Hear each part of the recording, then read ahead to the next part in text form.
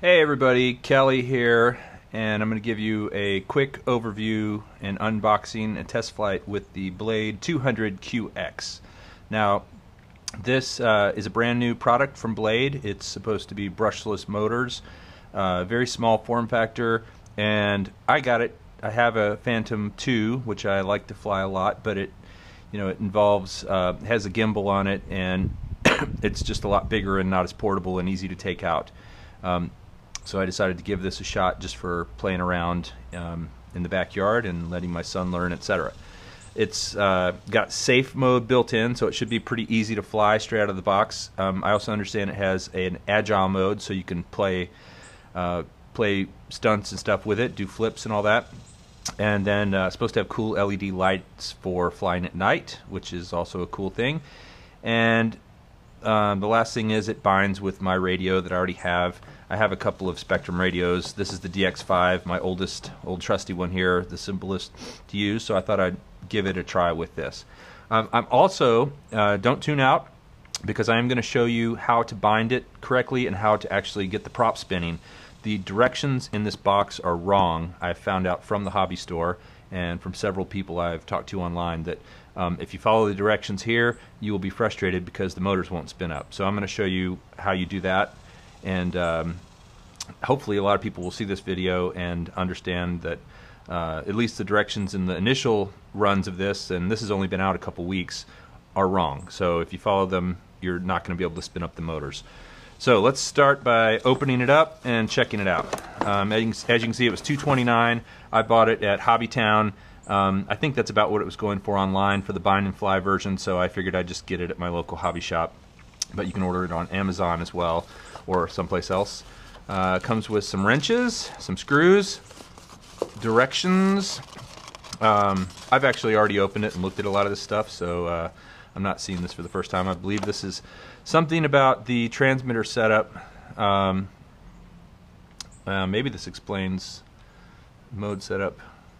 Well, this says there are incorrect things in the manual, but it doesn't address the takeoff, the, the spinning up the props issue. So um, just real quick on that, on right here on takeoff, it says, when you prepare to take off, move both sticks into the bottom inside corners, then back to center, increase the throttle until the model is two feet off the ground. So that would be doing this, which is what you do with the Phantom. With the, I know you do this with the DJI Phantom. I'm not sure what other uh, copters do this, but that does not work. That won't spin up the props. I'm going to show you how to do that in a minute. So first of all, let's pull off the top here. It is a cool little package, tiny package. Is much smaller than I was expecting. And here it is. Comes all wrapped in foam. Looks like we've got to put the landing gear on. And uh, I actually have already charged the battery, so that's good, but it does come with the battery charger. It is a 2, 2S, 2 cell, 7.4 volt, 800 milliamp LiPo battery. Um, I did order uh, a couple of extras of these on Amazon. This was the only one they had at the hobby shop. So I think they're about 20 bucks a piece on Amazon. So I got a few more just so I can have more flying time. They say you get about five or six minutes of flying time with this. But this is pretty much charged. The only thing I've used it for was to test and make sure I knew how to actually start the thing. So I won't get the charger out. Spare props, I won't go th those out, but I will get this out. This is important because this is a little um, uh, adapter you actually have to put on the charger you have to put it in right here in order to make the charger work. Uh, otherwise, I think it goes in like this. Yeah. So this end goes on the battery. Uh, the battery will not charge plug directly into this thing. So just so you know, in case you're trying to figure out why you can't plug the battery into the charger directly, you have to have this little adapter cable, which does come with it. So let's go ahead and put the landing gear on it real quick. Flip it over. Comes with an Allen key and it also comes with a prop wrench. This is for, I believe, actually I think this is for these little guys here in case you wanted to take the motors off, um, in case you had a motor fail or something. Um, props have these little tiny things. I haven't figured out how to take the props off yet, but we'll get to that later. Um, for now, let's get it in the air and see what we can do. I haven't actually had a chance to really fly it yet, so I'm kind of excited. So each, whoops, careful with these, uh, two little Allen keys, these guys, landing skids go in these two slots. Obviously you want to make sure that they're back toward the center so that you have you know a little bit of coverage here, so it it's basically centered and balanced on these two landing skids. Put these guys in. There are two Allen keys. One of them is bigger than the other. The bigger one is the one you use for the landing skids. The smaller one is for these little guys here. And I'm not sure why you would want to take those off again, unless you were doing repairs, perhaps. Um, hopefully, it won't come to that, or maybe you're modifying it. But like I said, I've only had it for a little while, so I'm not ready for any of that yet. I just want to fly. So let me go ahead and screw these things in. Uh, take them around and around and around. It feels like they're just kind of seating in the plastic down there. They feel pretty solid. Keep going until they... I definitely wouldn't use an electric device uh, for this. I would, even though it's a bit of a pain, I would use this manual um, Allen key just so you don't over tighten them. Okay, everything's assembled. Got the landing gear on. Uh, I took off the door to the bottom here. Um, this battery will go in it, and this is the lead, obviously the red one, not the um, not the balancing lead here. That's for charging. A um, couple things. I know that with your Phantom and several other um, quadcopters, you should always have the radio on first. I believe that with this device, um, I think you actually want to plug it in first and then leave the radio off and then uh, turn the radio on in bind mode after five seconds. So you'll watch it go through this little light up sequence and then this blue blinking light means it's in bind mode. Also, you want to make sure this is on a flat level surface um, while it's initiating everything. If it's off kilter, just like any other quad, you'll get off kilter flight because it thinks that uh, level is not level. So you want it on a level flat surface standing still. So I'm going to go ahead and flip my radio to bind mode, turn it on, wait a few seconds. You can see the lights blinking here. And there, now it sounds like it's beeped, so I'm going to let go. And that green light indicates that it is bound. Now the green light, I believe, is stability mode uh, with low agility, meaning um, you can't flip it very fast, it won't fly as aggressive. The red light, this one here, is agility mode. So if you want to fly it more aggressively, I'm just flipping this little uh, trainer switch over here up and down and that turns it from one to the other. I believe there's also a couple of other uh, modes, low and high, um, that change the light. I'm not sure how to do those right now, but um, I'm sure you can figure it out in the manual. Let's get it up in the air. So it's bound. I'm going to go ahead and put the uh, battery in. One thing they've done fairly nicely with this is giving you enough room for the battery and all the cables. Uh, I'm to try to be careful not to pinch them in unnatural ways, although you almost kind of have to sometimes to get them in there. So that's all sitting in there pretty nicely. I'm going to put this guy on and close it up. One uh, mod that I did to my Phantom that I might do to this is just put a little piece of Velcro right here so that it stays closed to make sure it doesn't come open. So now here is, I believe that the red is the front and the green is the back. Not 100% yet, but we'll find out in a moment. Uh, here is the thing that is perplexing about this thing, about this uh, bird and the directions. As I said, the directions say you are supposed to do what you do with Phantom. You pull the sticks down and in in order to initiate the props. Well, obviously that does nothing. Can't take it up and down. That does nothing. There, there's no there's no motion here. So what you have to do, and I just learned this today, is actually push this thing up five times, the trim, one, two, three, four, five, and then go back, forth, back, forth. And there's your, there's your prop spinning. Now, to kill the props, you take the trim and go down five times. One, two, three, four, five. Kills the props. A little awkward. Um, my other radio actually has a throttle kill button. I'm curious to see if that works, but for this radio, it's the trim. So again, now, now I don't know if I actually need to do the five times up again, but let me try it. Left, right, left, right, left, right, left, right. Nope. So one, two, three, four, five. Left, right, left, right. Yep, there you go.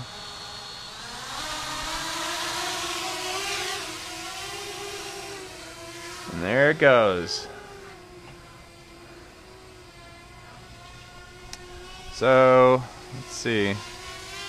Let's see if I can trim it out a little bit. It's a bit breezy here today in Texas. Uh, seems to want to go forward.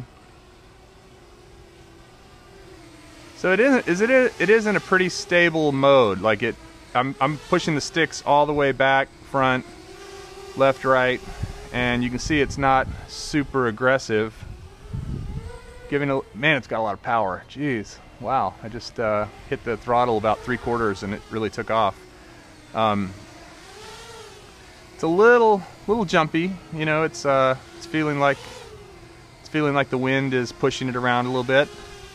Um, let's check out the yaw here. Yeah, okay, that's that's full yaw and reverse. And again, pretty uh, pretty tame. I mean, I'm I'm whoa, pushing the sticks in all sorts of directions, and it's just barely tipping over. So great trainer, great way to learn. Now I'm going to take it in, take it low, let it hover a little bit, get it lined up so I'm ready, flip it into expert mode. Whoa! And wow.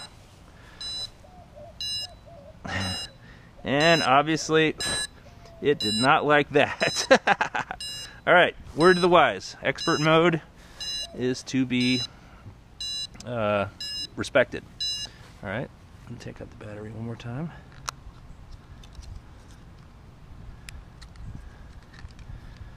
Radio's off. Unplug. Wait just a second. Plug back in. Okay. Turn it on.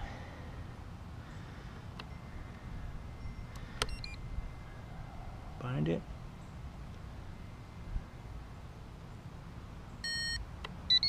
Okay. Green light's on. I think it should mean it's bound. Go ahead and put the battery in. Put the cover on. And by the way, that's the uh, connector for the camera. I don't think I'd ever use this for video, but we'll see. Alright, so now I'm going to go, I'm just going to try left, right, left, right first. Okay, it doesn't like that, so I'm going to go one, two, three, four, five. Left, right, left, right. There we go.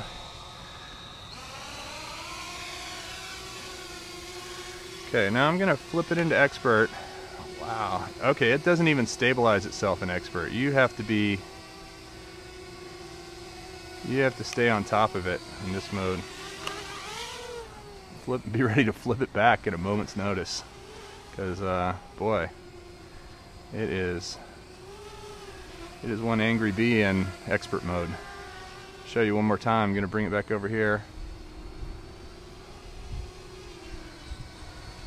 I'm to see if I can find the um, high response stability or safe mode Okay, I'm going to flip it back to expert. I'm going to move it forward just a little bit. You can see it just does not does not self-stabilize in expert mode. It just stays wherever you put it. So if you tip it left a little bit, it stays left. So again, just be extra careful lest you do what I just did. And then be ready to flip it back into safe if you need to. Does have some nice LEDs. Anxious to see what those guys look like at night. small, it's quiet. Hoping uh, these little quirks with the uh, binding and powering up are temporary. So let's see if we can land it and turn it off. Let's try and put it over here in this bird bath.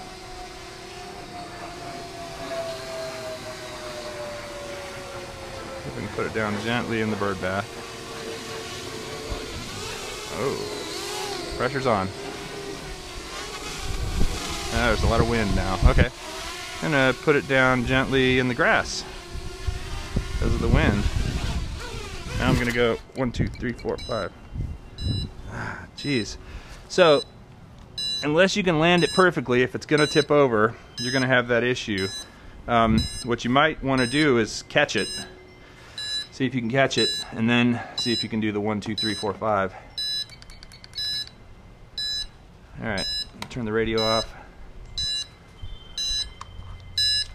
It does not like it when you do that to it. Pull this out one more time.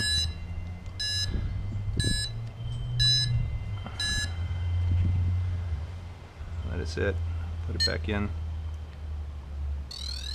Give it a second. Okay, go ahead and bind it.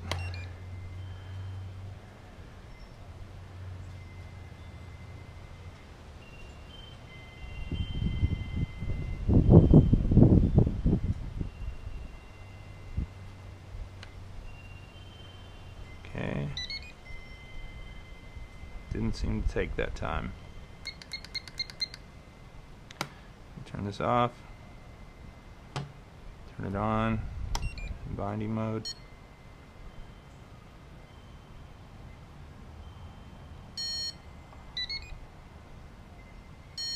Okay, it did take that time.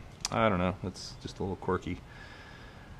Alright, gonna try one more thing. Put this guy in, and I'm going to see if instead of landing it, I can catch it and uh, then kill the radio. Or maybe try landing it on the concrete.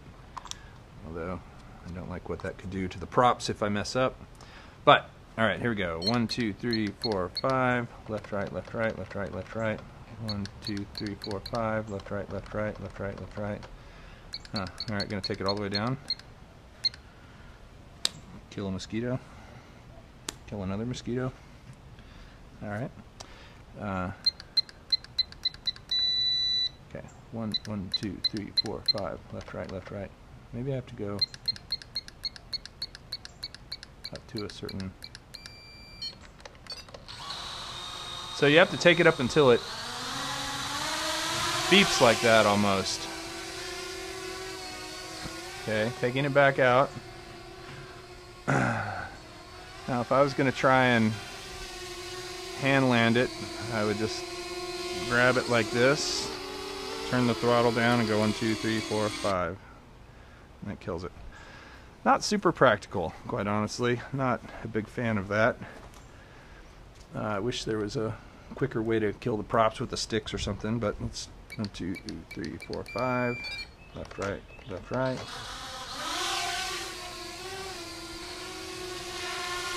Okay, I'm gonna try one more thing on my radio. I've got a low and a high rate. Okay, that does seem to make a little difference. That's the high rate, which gives you a little more, I think a little more. That's low rate. Uh, low rate seems to be a little slower. I'm trying to tell if it's actually a real difference or if I'm just imagining it. But man, look at the power on that. I just give it some gas and up it goes like I said, there's a fair amount of wind tonight, so it's you know it's a tiny little thing fighting that wind. I think it's going to be a fun trainer. Uh, I'm going to have to get used to this whole uh, throttle up, throttle down thing, and just how I'm going to land it each time without tipping it into the grass. Because try again over here where the grass is a little shorter. One, two, three, four, five. Okay. Well, that worked a little better. So just don't land it in uneven tall grass and you'll be okay. One, two, three, four, five. Left, right, left, right.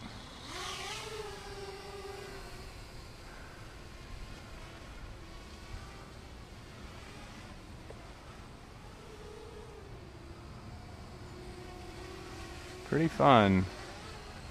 Pretty fun little toy. Looking forward to using it to get better and better at, at flying and uh, hopefully be able to get better with my Phantom. Now, check it out. So those blinking lights, I think, mean that the battery's reached a certain voltage and is getting low, which is understandable. I think you can continue to fly for a little bit on this, and then at some point it's going to just have low voltage and it's just going to land itself. So, take it up one more time, just for fun. Let it come down. Do a little, little spin with the yaw. Bring it back over. Alright, see if we can get another successful landing out of it, and then we'll call it a day. So I can charge battery. I'll try it at night and see how it does. And one thing too, you can't see that battery light from below. So obviously, I think the outside lights begin to, oh, it's going down on its own now. I think the outside lights begin to blink when the battery's getting low, so just be aware of that. So, one, two, three, four, five. So there you go, the Blade 200QX a lot of potential. Um, I hope Blade can address this issue with how you go about starting and stopping it because I think it's a little clunky with the five flips of the trim switch, uh, the throttle trim switch. But at least now you know, and uh, if you're out there trying it, uh, leave a comment and let me know what you think. Thanks for tuning in, and I'll see you next time.